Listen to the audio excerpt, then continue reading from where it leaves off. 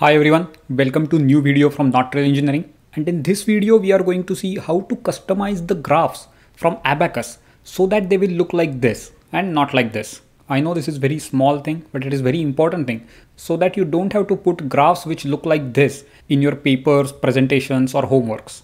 So we'll see how to change the font, how to change the font size, how to change the line widths, colors, etc. and also how to change the background color. Let's start with Abaqus CAE. Now to demonstrate this, I just made a simple model where there is a plate with a hole and I'm applying some pressure on this right hand side and this bottom edge can't move in y direction, this left edge can't move in x direction and this pressure is periodic and this is dynamic analysis. So we'll get the graph of displacement for four points A, B, C and D and we'll plot them against the time. So I will not go how to model this. I have a separate video for that and I already created four sets point A, point B, point C and point D. And I also requested four history output requests each corresponding to these four sets. So let's see the results. So these are the results. And if I go into history output these are those four displacements for four points. Let's say plot.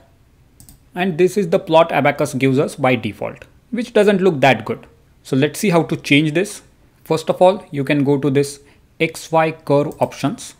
And over here you can change this legend name to whatever you want. So for example this I will just keep it as point B. And then if you say dismiss you will see that it is changed over here to point B. Similarly I will do it for all other four points as well. And again if you go back there you can change the color line width line style etc for example for this red graph we can change the line style also change the line width let me increase the width for all other graphs as well uh, this maybe let's make it blue this one color is good but let's just change the line width and also maybe we'll make it like this and the last one again color is good let's keep the third options. So you can see you have three different options over here. Say dismiss. Next, font. For that you can directly double click on this axis and axis options will open. And also you can go here from options, XY options and axis. And here we can change the font. So you can see here X axis and Y axis. X axis is now selected. So which is over here. And then if you go on title, you can change this title to whatever you want. I'm just going to add dimension over here. Let's say second. Then you can select the font from over here. Let's make it Times New Roman because that is the most widely used font.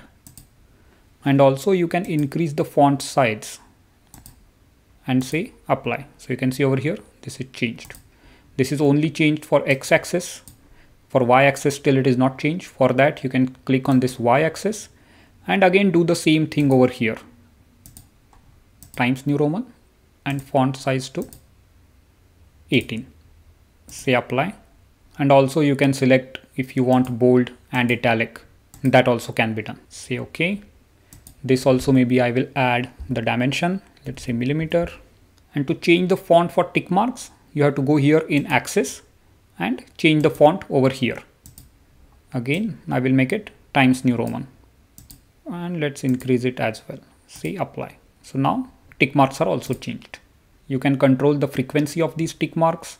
And also if you want to show this black line and if it should be inside or outside everything you can control from here. I will also change the dimension for x-axis. If you want to choose if these tick marks should be inside or outside that you can choose from over here.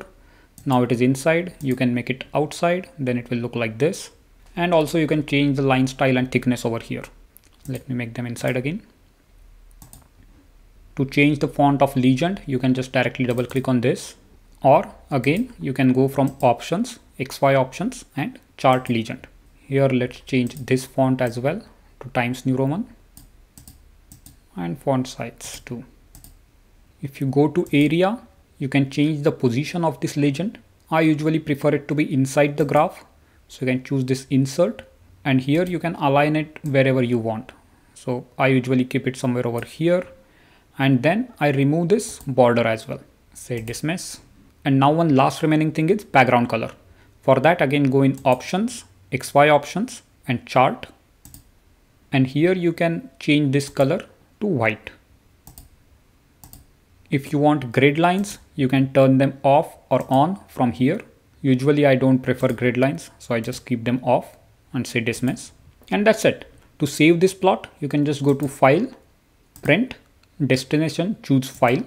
Then you can browse wherever you want to save this picture. Let's name it as waves. And by clicking on this format button, you can even select the resolution. So I will increase the resolution to 2000. Say OK and say OK. This is the outcome.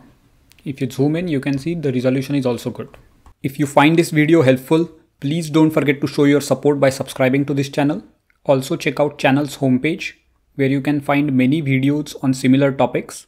And if you go to playlist tab, here you can see many different playlists where I combine together videos from different topics. So for example, if you're trying to learn Python scripting in Abaqus, you can watch all the videos in this particular playlist.